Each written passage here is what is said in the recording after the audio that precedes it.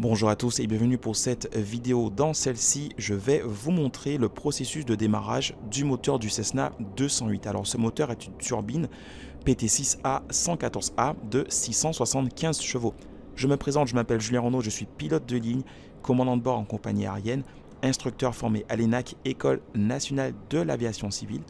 Je suis qualifié sur Cessna 208 et également instructeur sur cette machine. Je fais cette vidéo à l'occasion de la sortie du cours formation C208 que tu peux retrouver en cliquant sur le lien que je te mets en description de cette vidéo.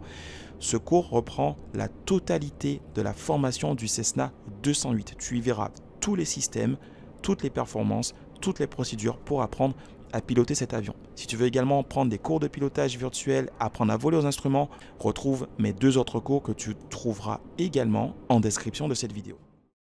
Très important, je t'invite à liker cette vidéo, t'abonner à la chaîne YouTube et t'abonner également à nos réseaux sociaux pour te tenir au courant des actualités et des différentes promos ponctuelles. Nous voici maintenant à bord du Cessna 208 avec un cockpit qui est à 100 conforme à la réalité. Vous y avez tous les détails, que ce soit les switches, les différentes commandes carburant, les boutons du Garmin 1000, etc. Je vais donc allumer la batterie ainsi que l'avionique.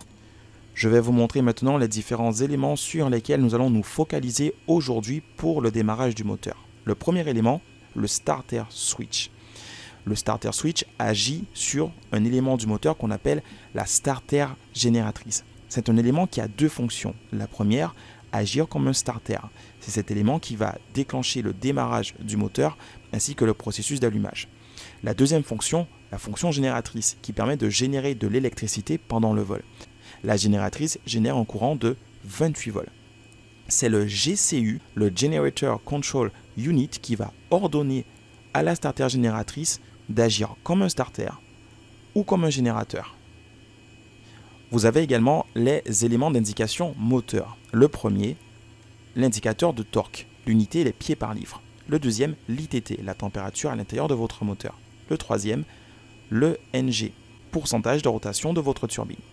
Vous avez les tours minutes de votre hélice à cet endroit, la pression d'huile en PSI, la température d'huile en PSI, ainsi que le fuel flow. Au niveau du pédestal, vous avez trois manettes. La Power Lever qui vous permet d'agir directement sur la puissance du moteur. La deuxième, la RPM Lever qui vous permet d'agir sur la vitesse de rotation de votre hélice. La troisième, la Fuel Condition Lever qui vous permet d'envoyer le carburant dans le moteur. Alors, cette manette ne fonctionne pas comme une manette de richesse. Vous avez trois positions. Une position cut-off, une position low idle, une position high idle. Pour le démarrage du moteur, nous allons utiliser la position low idle. Le starter switch a trois positions. La première, la position motor. Cette option permet de faire tourner la turbine sans enclencher le processus d'allumage. Deuxième position, la position off qui permet de couper la starter génératrice. Troisième position, la position start qui va faire tourner la turbine et enclencher le processus d'allumage.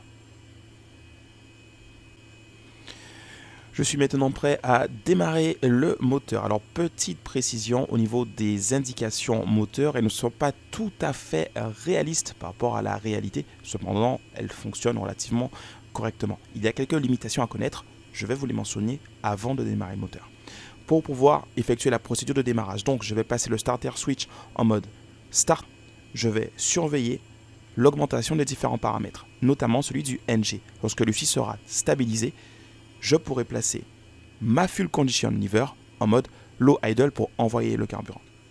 À ce moment, le démarrage du moteur va se faire, le processus de combustion va commencer, mes températures vont donc commencer à partir à la hausse. La première limitation à surveiller lors du démarrage du moteur est l'ITT, 1090 degrés maximum pendant 2 secondes. Vous avez une deuxième limitation à surveiller, c'est la position du starter switch. Vous ne devez pas la laisser plus de 30 secondes en mode start. Pour cela, vous pourrez activer un chronomètre qui se situe au niveau du PFD. Pour simplifier la vidéo, je ne vais pas faire cette procédure en utilisant la procédure complète du manuel de vol. Je vais l'effectuer comme étant des actions mémoire. Je vais donc commencer. Je vérifie d'abord que tous mes breakers sont bien en place. Je vérifie que mes réservoirs de carburant sont bien ouverts. Power lever idle. RPM lever max RPM, fuel condition lever cut off, fuel shut off on. Beacon switch sur on. Je vais également activer ma boost pompe.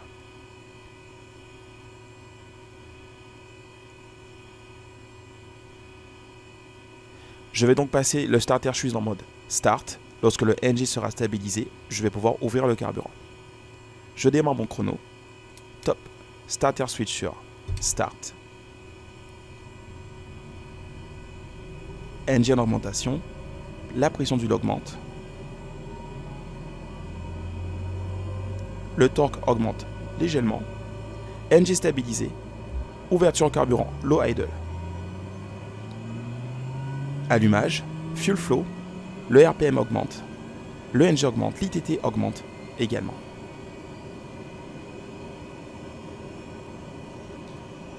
Je repositionne mon starter suite sur off, la fuel boost pompe sur normal.